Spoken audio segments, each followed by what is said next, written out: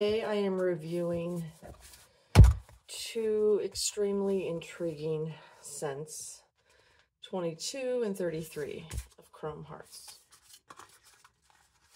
Uh, initially, one thing I did notice is that the bottle, the top kind of sits like not not right, but otherwise. Okay, Harry, my mascot is about to show up. Just don't get in the way. Move along, move along, please. Move along. Okay, anyway. Um, I wonder what... I don't know why they added a rhodium plated coat on top of sterling silver. I don't think that was necessary. What do you think, Harry? Um, anyway, their fragrance smells much better on your skin. Um, what do you think? Not sure about that one. You know what I think? I think Laurie Lynn Stark said, I want this to smell like joy, leather, maybe sex, and then something else. I don't know. But I smell joy in this perfume. I smell leather. Yeah, it's pretty cool. It actually smells better on my skin. So this is number 33. I paid a fortune for it, but I needed to know what the Chrome Hearts scent was. What is that?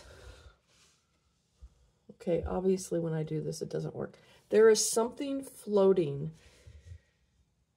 Do you see that? Where's the camera? What the fuck is that? And why is it floating in my bottle? I have... Whew, okay. Well, that's not cool. I'd be mortified if I had something floating in mine. Where is it now? Where'd it go? I could have sworn... Oh, yeah, it's still there. There it is. What the fuck is that? Do you see that? There's something floating in this bottle. okay, that is not acceptable.